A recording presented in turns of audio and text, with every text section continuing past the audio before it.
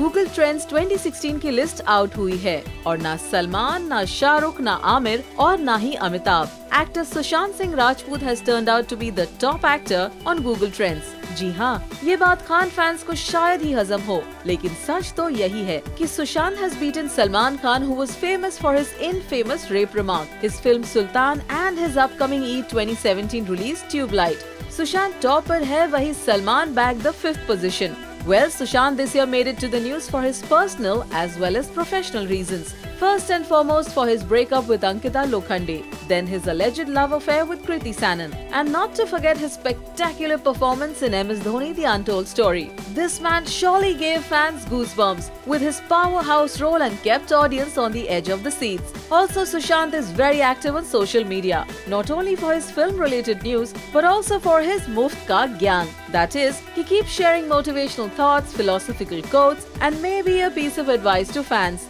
Clearly limelight में रहना कोई सुशांत से सीखे। वैसे सुशांत के अलावा इस लिस्ट में कबीर बेदीज और नंबर टू हर्षवर्धन कपूर और नंबर थ्री पुलकित सम्राट और number four and Salman Khan number five are among other top trending celebs on Google this year but for a change it's not Salman but Sushant topping the list I you happy about it post करे अपने comments